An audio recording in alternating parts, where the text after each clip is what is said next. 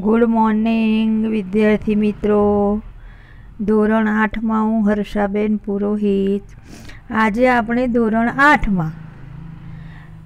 શું ભણશું? ખબર છે? નવા વર્ષના સંકલ્પોનું સ્વાધ્યાય. આપણે ગયા લેક્ચરમાં નવા વર્ષના સંકલ્પો વિશે ભણ્યા, બરાબર?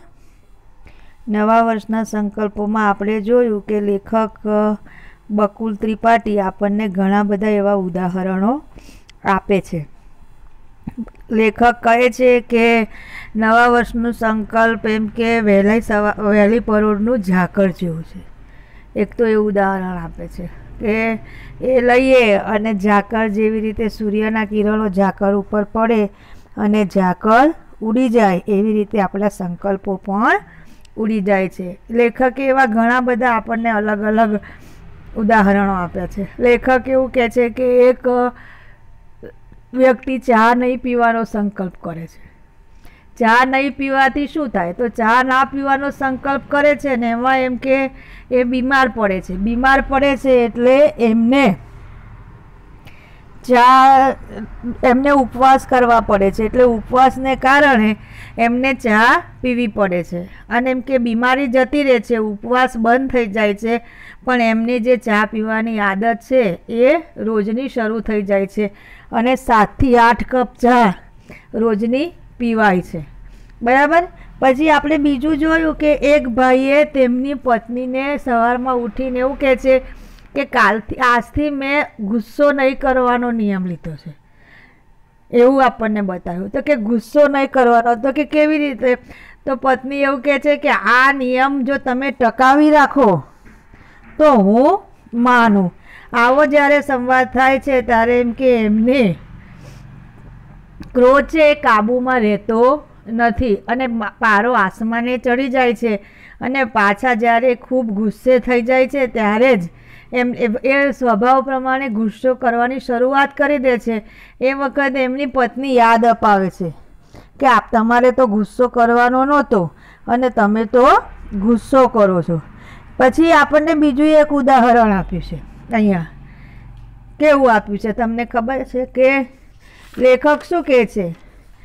કે આપણે જે સંકલ્પો કરીએ છીએ એ સંકલ્પો આપણે પાળી શકતા નથી. આપણે વહેલા ઉઠવાનો લેખકનો સંકલ્પ હતો એ જોયો, તો એમાં એમ કે ઘડિયાળનું કામ પહેલાં એ પોતે ઉઠી ના શક્યા પછી જે દિવસે ઉઠવાનું નક્કી કર્યું એ દિવસે અડધી રાત સુધી ઊંઘ ના આવી, બીજા દિવસે મોડા ઉઠાયું, પછી ઘડિયાળ એલારામ મૂક્યું એલારામ બગડી ગયું એમ કરી અને દેવ દિવાળી સુધી લેખકને આ રીતે એક કામ પહોંચ્યું અને ઘડિયાળનું કામ દેવ દિવાળી સુધી પહોંચવાથી, એમ કે દેવ દિવાળી સુધી પોતે ઘડિયાળનું સમારકામ પહોંચ્યું અને વહેલા ઉઠી શક્યા નહીં. એટલે જે આપણને એવું બતાવ્યું, મેં તમને પહેલાં જ કીધું તેમ કે લેખક એવું માને છે કે નવા વર્ષના સંકલ્પો છે એ વહેલી પરોળના ઝાકળ જેવા છે. કે એ વહેલી પરોળનું ઝાકળ કેવું હોય? કે સવારે ઝાકળ હોય તમે જોજો, રોડ ઉપર જજો, તમે ગામડામાં જાઓ તો ખેતરોની અંદર જોજો, ખેતરોમાં પાણી પાણી હશે. પણ સવારે જાઓ ને પછી બપોરે બાર વાગે જાઓ તો એ સૂર્યના કિરણોને લીધે એ પાણી ઉડી જાય છે. એવી રીતે એમ કે વહેલી પરોળનું ઝાકળ છે, એ સૂર્યના કિરણોથી જેવી રીતે ઉડી જાય છે, એમ નવા વર્ષના સંકલ્પો પણ એવા ટકીને રહેતા નથી. લોકો ઘણા બધા એવા સંકલ્પો કરે છે પણ એનો કોઈ અર્થ રહેતો નથી. આપણને એવું અહીંયા બતાવવામાં આવ્યું છે. બરાબર છે? હવે આપણે એ પાઠમાં આપણે સ્વાધ્યાયમાં પ્રશ્ન બે ભણ્યા હતા. પહેલો અને બીજો. આજે આપણે પ્રશ્ન નંબર ત્રણની શરૂઆત કરવા જઈ રહ્યા છીએ કે પ્રશ્ન નંબર ત્રણમાં શું છે કે નીચેના શબ્દોનો ઉપયોગ કરી અને વાક્ય લખો. કે આપણને જે શબ્દ આપેલા છે, જુઓ. આત્મ સુધારણા અઠવાડિયું, જળજળિયા અને ઉચ્ચારણ. આ ચાર શબ્દો આપેલા છે. આ ચાર શબ્દની, શબ્દમાંથી દરેક શબ્દ જે વાક્યની અંદર આવે, એવી રીતે આપણે એ શબ્દનો, શબ્દ બના, વાક્ય બનાવવાનું છે, શબ્દનો ઉપયોગ કરીને. હું અહીંયા જે વાક્ય બોલું, એ તો તમારે ચાલશે. પણ એ જ સિવાય તમે કોઈ એવું, તમને કોઈ એવું આવડતું, એવું સારું એવું વાક્ય હોય, તો તમે તમારી જાતે પણ બનાવી શકો છો બરાબર છે? તો હવે હું બોલું છું. પ્રશ્ન નંબર ત્રણ. નીચેના શબ્દોનો ઉપયોગ કરીને વાક્ય લખો. પહેલું આત્મ સુધારણા તો અહીંયા આત્મ સુધારણા માટે મેં એક સરસ મજાનું વાક્ય લખ્યું છે, પાઠને આધારે કે દરેક વ્યક્તિએ બેસતા વર્ષના દિવસે, બેસતા વર્ષે આત્મા સુધારણા માટે કોઈને કોઈ સંકલ્પ કરવો જોઈએ. પછી નંબર બે, ફરી બોલું છું. આત્મ સુધારણા. તો દરેક વ્યક્તિએ બેસતા વર્ષે આત્મા સુધાર આત્મ સુધારણા માટે કોઈને કોઈ સંકલ્પ કરવો જોઈએ. નંબર બે, અઠવાડિયું. હવે એનો એનું વિકલ્પ બોલું છું કે અઠવાડિયું વીતી ગયું હોવા છતાં વિદેશ ગયેલા દીકરાના કોઈ સમાચાર આવ્યા નથી. બરાબર? આ તો આપણે એવું પણ લખી શકીએ કે દિવાળીને અઠવાડિયું વીતી ગયો હોવા છતાં લેખકનો કોઈ સંકલ્પ લેખકે કોઈ સંકલ્પ પાડ્યો નથી. લેખકે વહેલા ઉઠવાના સંકલ્પમાં દેવ દિવાળી લાવ્યા હતા ને, એટલે એમાં આપણે એવું લખાય કે અઠવાડિયું વીતી ગયું હોવા છતાં લેખકે વહેલા ઉઠવાનો સંકલ્પ પાડ્યો નથી.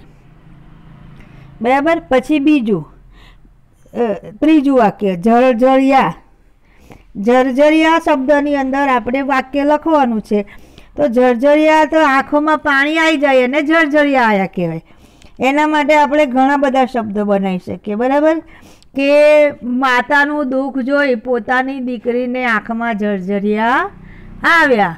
અથવા તો દીકરીને સાસરે વળાવી, ત્યારે માની આંખમાં જર્જરિયા આવ્યા. પિતાની બીમારી જોઈ દીકરાની આંખમાં જર્જરિયા આવ્યા. એવું તમે કોઈ પણ વાક્ય સરસ ગમે તે લખી શકો. જો હું અહીંયા એક વાક્ય બોલું છું. બરાબર છે? તમારે તમને જે અનુકૂળ લાગે એ તમારે લખવાનું. દીકરીને સાસરે વળાવતા તેના મા બાપની આંખમાં જળજળિયા આવી ગયા. ફરી બોલું છું. દીકરીને સાસરે વળાવતા તેના મા બાપની આંખમાં જળજળિયા આવી ગયા. હવે આગળ.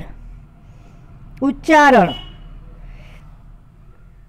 શું કીધું છે કે ઉચ્ચારણ? ઉચ્ચારણ એટલે આપણે જે કંઈ બોલીએ છીએ, એનું જે શબ્દનો મિનિંગ શું થાય, એ આપણે ધ્યાન રાખવાનું. શબ્દનો મિનિંગ ઉચ્ચારણ એટલે શબ્દનો મિનિંગ બરાબર? અહીંયા શું કીધું છે કે ઉચ્ચારણ શબ્દમાં આપણે શું લખીશું? કે દરેક વ્યક્તિએ બોલતી વખતે શુદ્ધ ઉચ્ચારણ પર ધ્યાન આપવું જોઈએ. એટલે એનો મિનિંગ એવો થાય કે તમે શું બોલો છો? એનો શું મતલબ થાય છે? શું મિનિંગ થાય છે? તમારે ધ્યાન રાખવું પડે. બરાબર? નંબર ચાર, ઉચ્ચારણ. તો દરેક વ્યક્તિએ બોલતી વખતે ઉચ્ચારણનું ધ્યાન રાખવું જોઈએ. પછી આગળનો પ્રશ્ન. પ્રશ્ન નંબર ચાર. શબ્દ સમૂહ માટે એક શબ્દ લખો. આપણને અહીંયા શબ્દ સમૂહ આપેલા છે. શબ્દ સમૂહ માટે એક શબ્દ આપણે લખવાનો છે. બરાબર છે? કયા કયા શબ્દો આપેલા છે? એ જરા હું સેજ જોઉં, પછી હું તમને કહું. બરાબર છે? હા. અહીંયા અહીંયા આપેલા છે કે પહેલું રસ વગરનું, બીજું પોતાની જાતને સુધારવી. ત્રીજું, ઇન્દ્રનું આસન. ચોથું, ફરીથી જન્મ લેવો તે. અને પાંચમું, દ્રઢ નિશ્ચયવાળું. આ પાંચ શબ્દો આપણને આપેલા છે. એનું આપણે એક શબ્દ સમૂહ માટે એક શબ્દ લખવાના છે. બરાબર? તો અહીંયા હું બોલું છું રસ વગરનું. તો એનું અંદર આવશે નીરસ. શું આવશે? નીરસ. પછી બીજું, પોતાની જાતને સુધારવી તે. આત્મ સુધારણા ઉપર જે પ્રમાણે આવ્યું તે પ્રમાણે આત્મ સુધારણા ત્રીજું, ઇન્દ્રનું આસન. તો એના માટે શબ્દ છે ઇન્દ્રાસન. ઇન્દ્રનું આસન, તો એના માટે શબ્દ કયો છે? ઇન્દ્રાસન. પછી ચોથું, ફરીથી જન્મ લેવો તે. પુનર્જન્મ. ફરીથી જન્મ લેવો તે, પુનર્જન્મ. પાંચમું, દ્રઢ નિશ્ચયવાળું. દ્રઢ નિશ્ચય દ્રઢ નિશ્ચય વાળું તો દ્રઢ નિશ્ચય એ. હવે શું છે જુઓ. હવેનો પ્રશ્ન પ્રશ્ન નંબર પાંચ. નીચેનામાંથી દ્વંદ સમાસ ઓળખો અને તેની નીચે લીટી કરો, બરાબર?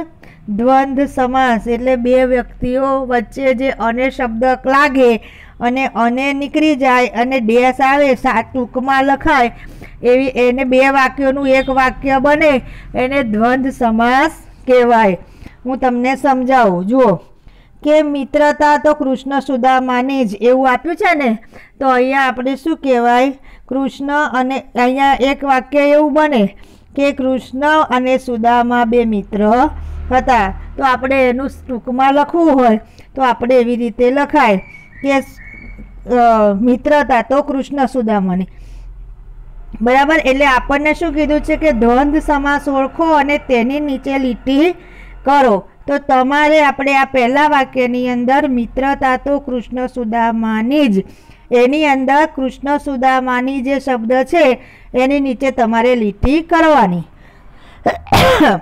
પછી બીજું, ઘરમાં અહીં તહીં સામાન પડ્યો હતો. તો એમાં શેની નીચે લીટી કરવાની? ઘરમાં અહીં તહીં સામાન પડ્યો હતો. તો એમાં અહીં તહીં. આ બે શબ્દ છે, એની નીચે લીટી કરવાની. પછી ત્રીજું. ઝાડ પર દસ બાર પંખી બેઠા હતા. તો એમાં આપણે શેની ઉપર લીટી કરવાની દસ બાર શબ્દ છે, એની નીચે તમારે અંડરલાઈન કરવાની. બરાબર? જો મિત્રતા તો કૃષ્ણ સુદામાની જ, તો એની અંદર કૃષ્ણ સુદામા નીચે લીટી કરવાની અંડરલાઈન કરવાની. પછી ઘરમાં અહીં તહીં સામાન પડ્યો હતો, તો અહીં તહીંની નીચે લીટી કરવાની. ઝાડ પર દસ બાર પંખી બેઠા હતા તો દસ બાર શબ્દની નીચે લીટી કરવાની. બરાબર છે? તો આજે આપણે આટલું ભણ્યા. ફરીના વિડીયોમાં આપણે નવા પાઠની શરૂઆત કરીશું.